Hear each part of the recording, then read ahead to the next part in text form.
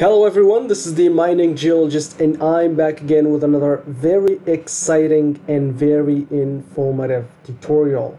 So uh, again, we're looking at QGIS, my favorite GIS tool and even that it is actually a GIS tool. Uh, I use it in other stuff related to the mining industry and geology. So don't think that as a mining geologist or as a mining engineer you should only learn mining softwares. No there's this software that can actually do uh, almost pretty much anything. And i use it to solve a lot of things. And sometimes even if there's uh, a tool that i need i even considered you know developing that tool using uh, python uh, scripting. By the way if you guys are really interested in python uh, applied to geoscience, to mining engineering, uh, please let me know in the comments below because I'm actually working on a master class, believe it or not, that will allow you to create your own geological modeling software totally in Python. So that's gonna be something crazy that doesn't exist anywhere else and I'm gonna be the first one that will create something or a course about that let me know if you guys are interested about this topic and I'll try to make uh, some YouTube videos about uh, this. So in today's tutorial we are going to to solve a problem. It's a really you know small problem but it's uh, something that you can be doing this uh, on a daily basis or something that you will need a lot as a geologist or as a mining engineer. So imagine with me, I don't know if you guys have taken a look at my previous tutorial, how to generate points with a regular spacing in an area. Go and check that out because uh, that this one could be like a second part for that tutorial. So also stick to the end because I have something like some sort of a surprise for you guys to uh, see. So stick to the end of the video and I'm gonna uh, show you what it is. So uh, imagine that we have a bunch of drill holes in here and somehow or we lost the elevation data, but we have the topography. And some people actually tend to go there point by point and let's say if this is a DEM and I click in here for example I got the elevation. It's about 1070 there. It's 1057 uh, there it's a 302 here. So imagine that I have a lot of points in here and I need to assign an elevation to them. Or let's go and do the same exercise that we've done in the past in the previous video. For people who are, who are lazy to go and check that uh, tutorial. So let's but if you want you want to see the details go and watch the previous video. So let's go and create a temporary uh, scratch layer and uh, call this like probably area. And uh, keep it that way. Let me go and really fast. So this is not actually the tutorial guys. This is just me making some data. And if you're interested to see what I'm doing here go and check the previous tutorial. So let's make this simple and say like probably 50 and I'm gonna use that layer. And let's go and run yeah I have one point because it looks like the area is really but okay let's not do that. Let me go and remove this discard okay? And I'm gonna go and toggle editing here and let me go and assign some other points. So this ID uh, one okay another one two another one three or whatever okay so let's just make another point. So these are points so I have the X and Y for these but I want to add the elevation so I want to grab that information from the uh, this DEM without actually going through this and click on that location. I mean like selecting this and click on that specific location and I know it's 523 so in our case they're just basically five points and that's not too much. What if we have like a thousand points and it is actually nearly impossible to do that in a short time? So this is going to be time consuming and there's actually a way to do that. In the previous tutorial, I've showed you how to actually calculate the x and y automatically for these points. So we don't care about this ID, so let me go and delete that. So in order to calculate the x and y for these coordinates, for these points, what I, all I have to do is to go to the field calculator. By the way, this is the attribute table. You right click and go to the attribute table. This is where all the information about these points are stored. Okay, this is like an Excel sheet inside uh, that layer. Okay, that stores whatever data that you want. But there are actually some data that some spatial data like the area, uh, the x, the y, and the elevation, we can calculate that automatically. And you can make like a combination of all of these to like get uh, the information that you want. Okay, maybe that, for example, you want the area divided by 4. So the, the same things that you can do in Excel, you can do this here, or almost uh, the same things. Okay, so let's go to the field calculator.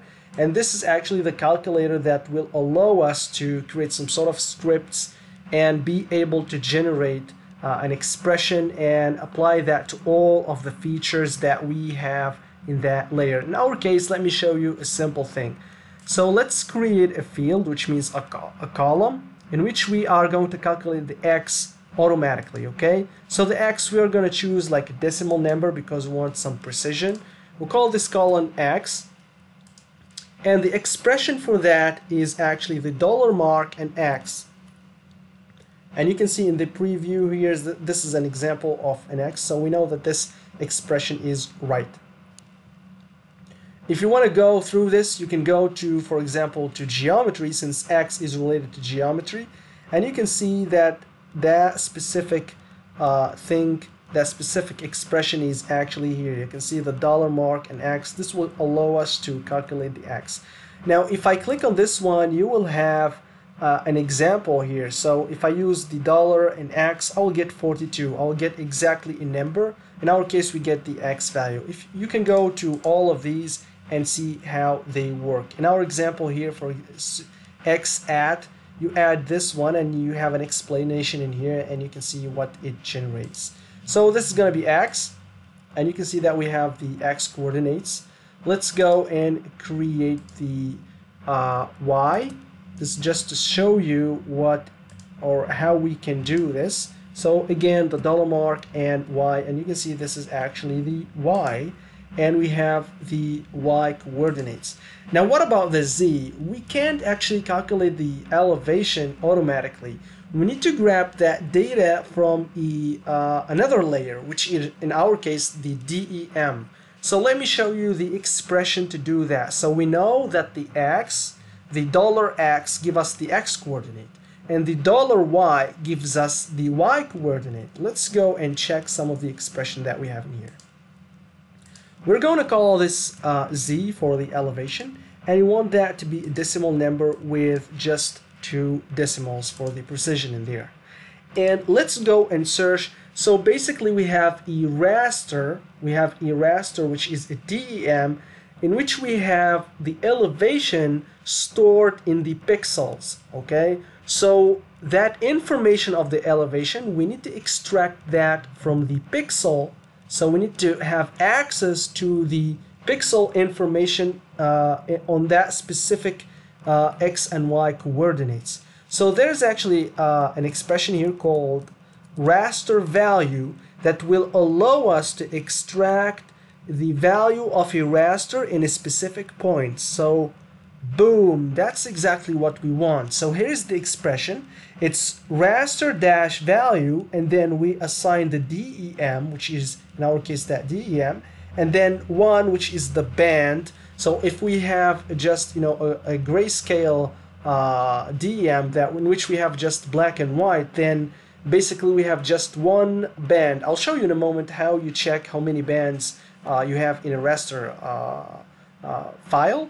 And so basically, in our case, and in your case also, if you have a DEM, it's going to be 1 here. So it's going to be always 1.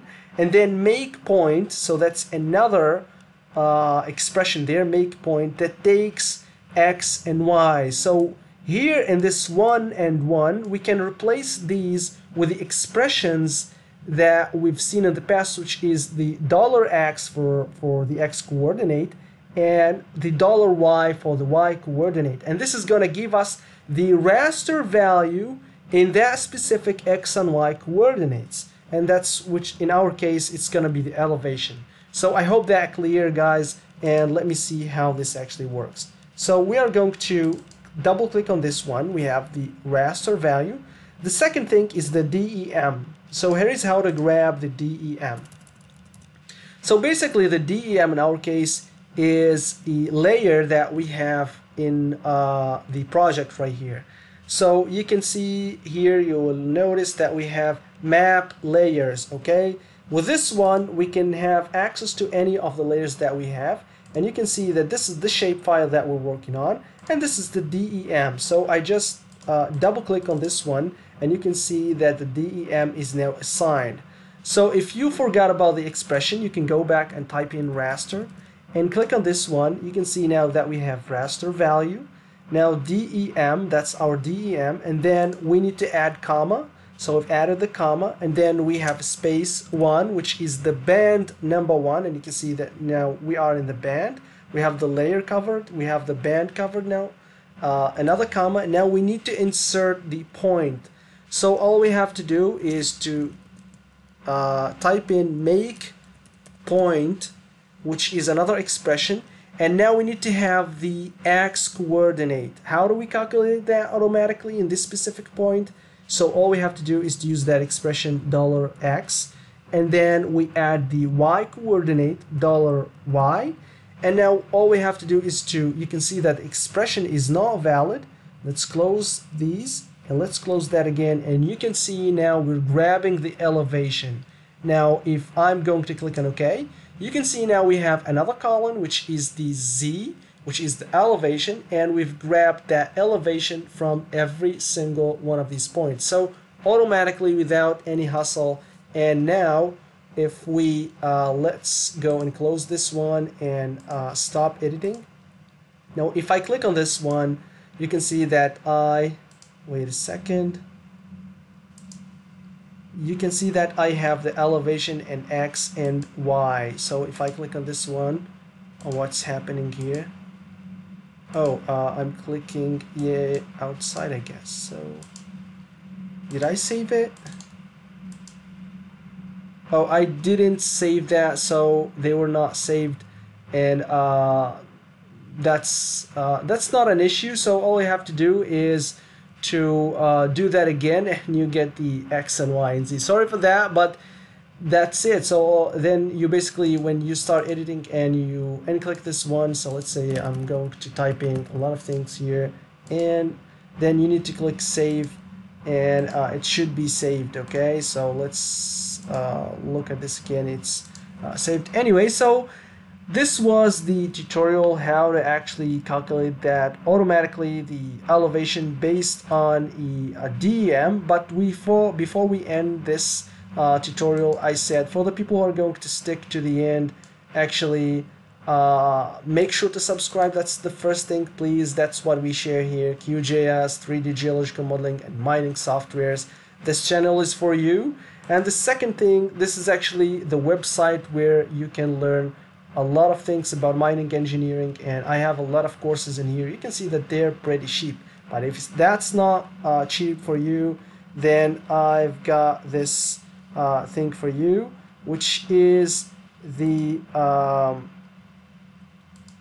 which is actually a coupon code.